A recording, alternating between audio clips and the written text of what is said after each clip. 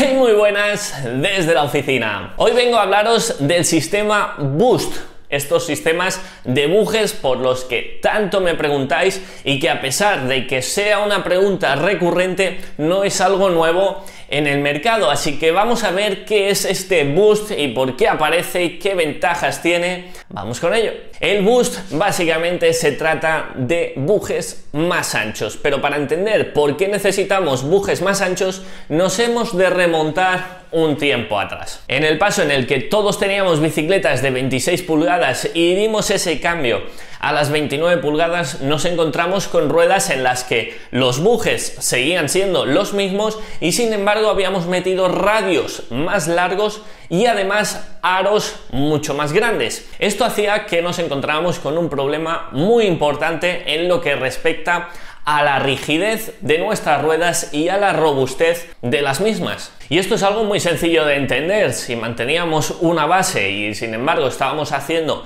un triángulo mucho más alto, evidentemente iba a ser mucho menos robusto. Imaginaos la Torre Eiffel con la base que tiene, pero que la hiciéramos 50 metros más alta, pues evidentemente en la parte superior de la torre íbamos a encontrar que se moviera con mucha más facilidad. Así que si queremos tener más rigidez en la parte de arriba, hemos de darle más base en la parte de abajo. Y eso es lo que hace este sistema Boost. Este sistema Boost nace de la mano de la unión de Trek con SRAM intentando crear una nueva solución a este problema que teníamos y aparece en 2015. En 2014 ya se venía hablando de ello, pero en 2015 sale de manera oficial en alguna de sus bicicletas. Un sistema Boost el cual nos dio un avance en lo que respecta a las ruedas. A pesar de que tuvimos un primer paso inicial por parte de todas las marcas en ensanchar el diámetro de los ejes, pasando de ejes de 9 milímetros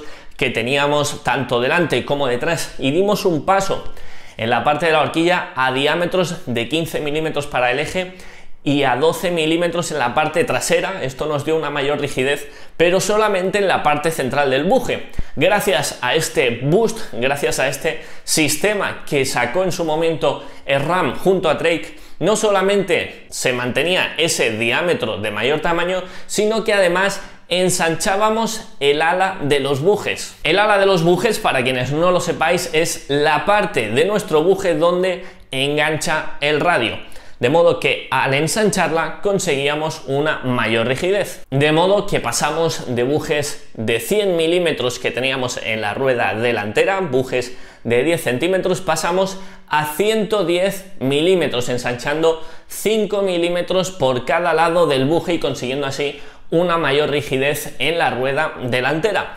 Lo mismo ocurría en la rueda trasera. Pasamos de bujes que eran de 135, primeramente se hizo un intento que no era denominado Boost y que fue previo a todo este Boost a partir de 2015 fue un salto de 135 milímetros a 142 milímetros en los que no se ensanchaba el ala de este buje, sino que simplemente se añadían separadores en la parte externa y en este caso lo que se hizo fue pasar de esos 142 milímetros al 148 que hoy día conocemos como boost, ensanchando en este caso 3 milímetros por cada lado del buje. Y la verdad es que esto fue una revolución bastante importante. De hecho, hoy día es difícil encontrar bicicletas de poco más de 1000 euros que ya no lleven el boost. Es algo que se ha implantado en todas las bicicletas de gama alta y de gama media, debido a que nos proporciona ciertas ventajas. Entre ellas, lo más evidente es su mayor rigidez. Tenemos un buje con la separación de los radios mayor, de modo que nos va a dar una mayor rigidez en la parte estructural de los radios y a su vez en la parte del aro de nuestra rueda. Esta mayor rigidez no solamente se traduce en una propia rigidez en la rueda, en una rueda más robusta, sino que también se traduce en una rueda la cual nos va a permitir una mayor eficacia de pedaleo toda la fuerza que nosotros vamos a hacer en nuestros pedales y que se va a transmitir en la rueda trasera se va a ver enfocada a un avance, no vamos a perder fuerza debido a que los radios flexen o no sean lo suficientemente rígidos. A su vez nos va a dar una mayor seguridad, especialmente en la parte del tren delantero, en la parte de la horquilla y la rueda delantera, debido a que tenemos una rueda con menos flexiones que en el paso de curva, en la entrada en curva, nos va a permitir tener una mayor seguridad. Hay que reconocer que seguramente sea algo que nosotros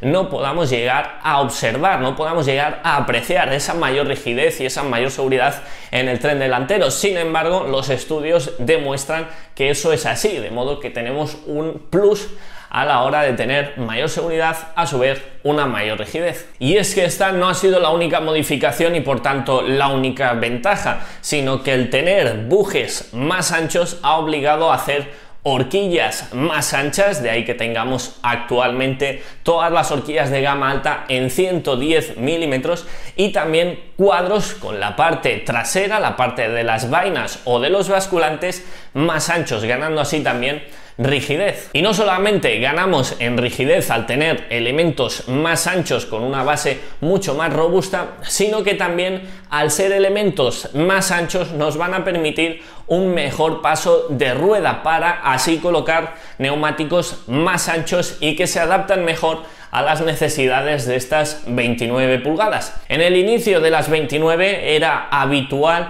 ver bicicletas de 29 pulgadas con neumáticos de 2.0, de 2.10 y en algunos casos muy puntuales algún 2.20. Al tratarse de bicicletas de 29 las cuales necesitan una mayor zona de contacto con el suelo, esto se quedaba justo y sin embargo al pasar a estos ejes boost, al ensanchar tanto nuestra horquilla como nuestro basculante, nos ha permitido colocar y que ya sea habitual ver neumáticos de 2.25, 2.35 en la mayoría de las bicicletas de serie. Esto a su vez nos va a dar un mayor grip, nos va a dar esta mayor zona de contacto con el suelo, una mayor comodidad que nos va a dar una vez más un plus de seguridad bajando. Y al ensanchar en la parte trasera nuestras ruedas también se desplazaba el cassette, de modo que en la parte de la caja de pedalier también se ha tenido que ensanchar y hacer una modificación en lo que respecta a bielas y platos para conseguir una mejor línea de cadena, que nuestra cadena no vaya cruzada. Imaginaos tener nuestro plato donde siempre se ha mantenido y sin embargo en la parte trasera desplazar nuestro cassette. Esto va a conseguir que la cadena vaya totalmente cruzada, de modo que la solución ha sido modificar también cajas de pedalier y bielas para conseguir centrar y alinear esa línea de cadena. Y esto es todo lo que debéis conocer del Boost, aunque seguramente a muchos de vosotros os surjan algunas dudas que quizás os pueda solucionar. Acabáis de comprar unas ruedas que son Boost, que son 110 y 148 en la parte trasera. ¿Me valen esas ruedas en mi bicicleta no boost? La respuesta evidentemente es no. Si tus ruedas que has comprado son más anchas que la propia horquilla y el propio cuadro, evidentemente no vas a poder meter tus ruedas en esa horquilla y en ese cuadro. No intentes ensanchar el cuadro, no intentes ensanchar la horquilla para así meterlo, porque seguramente lo que vayas a conseguir sea romper tu horquilla y romper el cuadro. Y al revés, puedo hacerlo, tengo unas ruedas que no son boost y sin embargo mi cuadro y horquilla sí que son boost. ¿Puedo meterle esas ruedas? Pues en este caso sí que puedes llegar a hacerlo, aunque no es la opción más recomendable. Es decir, a tus ruedas no boost puedes ponerle unos adaptadores para conseguir ensanchar el buje. Sin embargo, lo que estás ensanchando es la parte exterior del buje y no la parte donde anclan los radios. De modo que vas a conseguir colocar esas ruedas sobre tu bicicleta,